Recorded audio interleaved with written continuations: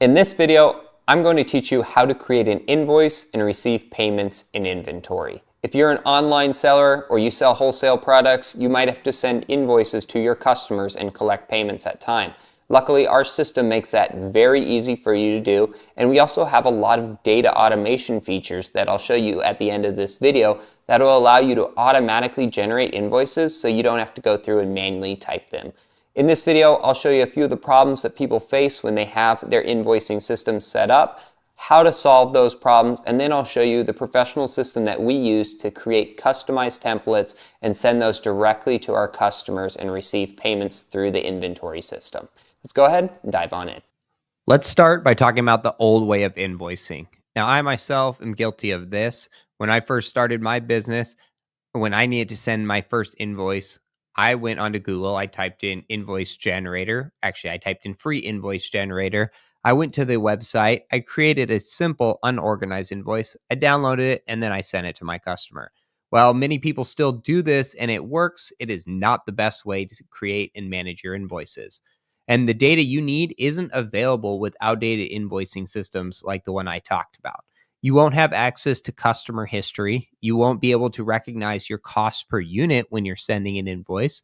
You have no idea how much you made per order in profit. You have an estimate, but you truly don't know your data. And then you don't have things like templates, payment processing, and analytics data that you can use in the future to plan and predict orders that you have with your current and past customers. So here's how to improve your invoicing process. First, you're going to use a professional invoicing system with a pre-built invoice template. That's going to include your company logo, an aesthetic layout, integrated payments such as PayPal and Stripe, and a customer portal. So what that means is your invoices can be sent to your customer and your customer can click on your invoice and review it and have access to that data in the future too if they need to go back and look at their invoice anytime you use a generator, you're going to have, anytime your customer asks for their invoice, you're going to have to figure out how you can dig it up. When you have a customer portal, they just log in there and they can see it all. So, this is what you want to include when you're creating these invoices and want to make them professional. First off, your co- company information. You also include all of your customer information, your billing and mailing addresses, itemized products and services, returns and warranty policies, and payment terms. This is a pretty standard to be included on all of your invoices. I suggest if you are receiving invoices that you have all of these terms on them before you pay any other vendors that you buy from too. So I want to talk to you about invoicing by Inventoryy and I'm going to show you how this all works. We can process and upload very large invoices in very short amount of time. We have professional templates, we have payment portals like PayPal and Stripe for you to collect payment, and we can track every single item that you invoice, how much profit you made from the customer, from the item, however you prefer. Now that we are on Inventoryy, I'm going to show you how to create an order. I just had a customer who said they want to buy all my Allegra products. I filtered my Allegra here and I saw what I had available, and we came to an agreement for all of my products in my Denver warehouse. I'm going to show you how to create an order and send an invoice to them now. We're going to go under orders here. We'll go to create order. I'm going to enter in a customer. Let's just do myself to keep things simple.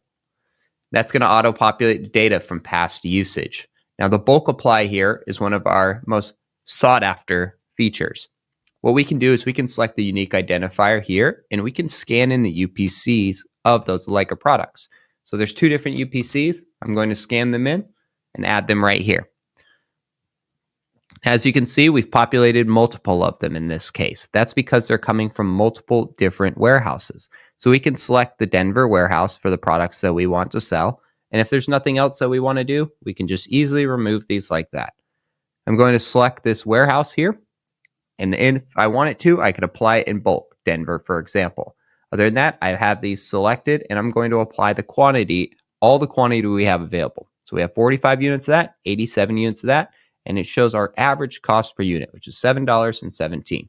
We'll then apply the sale price as well. This is all coming from our product catalog. We applied the sale price, $10. We do not have a price built in there, so we're going to have to enter it in. We agreed on $22 in this case. Now, once that information is applied, I can add my shipping information down here. The customer sent me a label, so I already have a label ready to go. I can scan that label and add that tracking number right there. If I have any notes, I can add them here. Shipping costs, sales tax, I can do that as well. I can select my payment method. In this case, it will be bank transfer. We can also connect PayPal and Stripe so you can receive payment through there.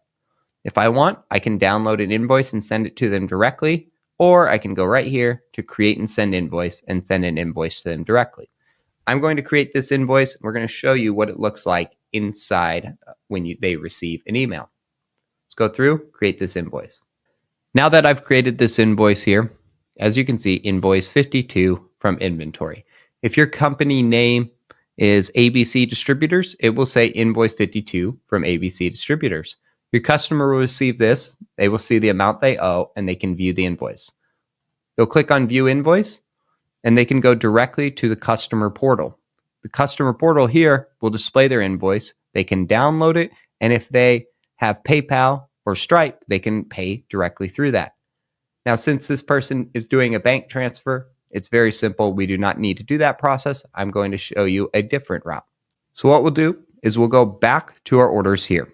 As you can see, this is the order that we just did. For myself, Hayden, 132 units. We made just over $570 and 31% ROI. We're going to mark that as paid because it's been paid and we can ship it. Now we can go through and ship this order, but that's for a different video. What I'm going to do is I'm going to show you the data that we just put together for the items that we sold. So we'll go under here, inventory, stock count.